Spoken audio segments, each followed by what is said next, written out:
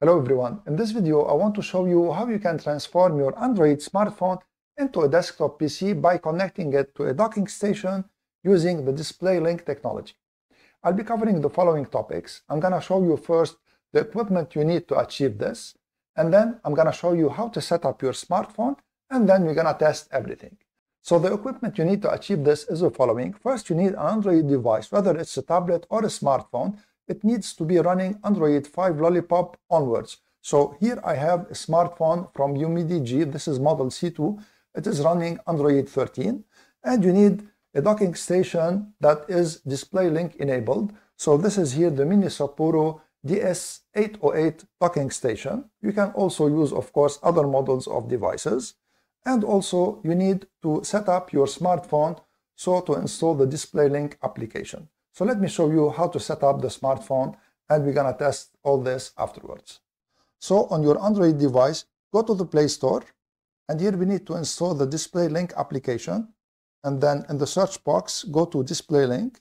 So type Display Link and here it is. And now you need to install Display Link Presenter. So tap on it and then choose install. So now the application is installed. Let's close Google Play.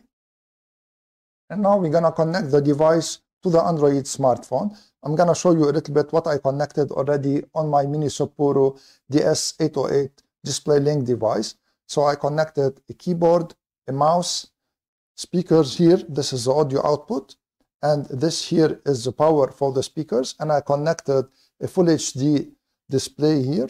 And also there is the host connection, which is USB-C.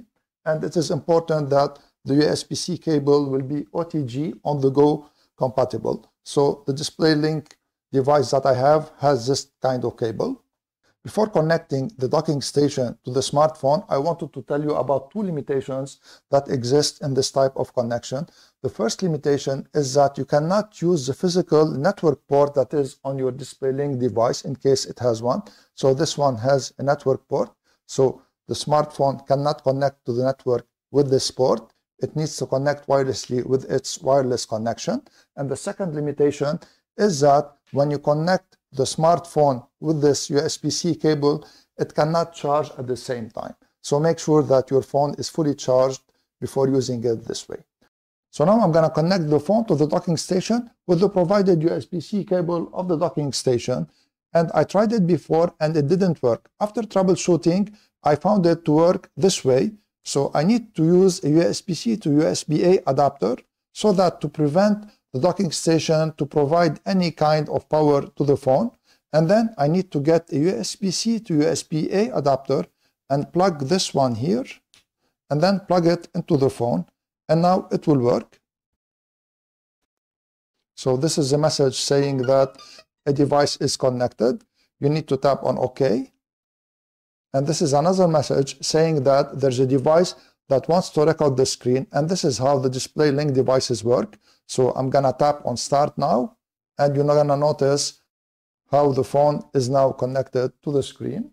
So the maximum resolution is Full HD 1920 times 1080.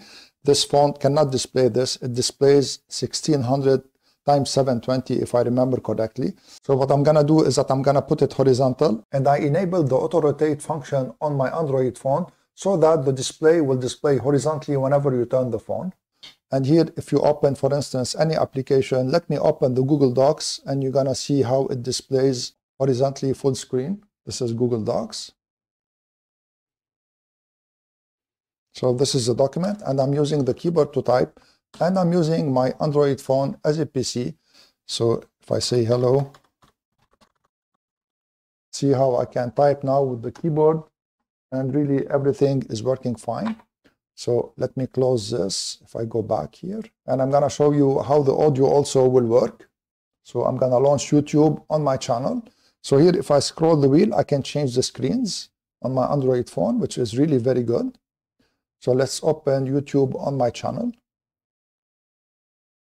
So let me launch one of my videos. And the third part is how I'll be installing the motherboard and the power supply into the case. So you notice how everything is working from the phone on the display and the audio is working. Keyboard and mouse also, they are working. Now my uh, smartphone is a little bit slow, as you notice, but this is not the problem of the display link. It is a problem of the smartphone.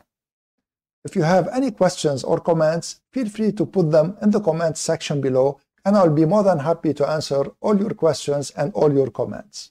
I hope that you liked this video and you found it useful. In case you did, please share it, subscribe to my channel, and give this video a thumbs up. I would really appreciate it. I want to thank you all for watching. I'm Eloy from Knowledge Sharing Tech. See you in the next video.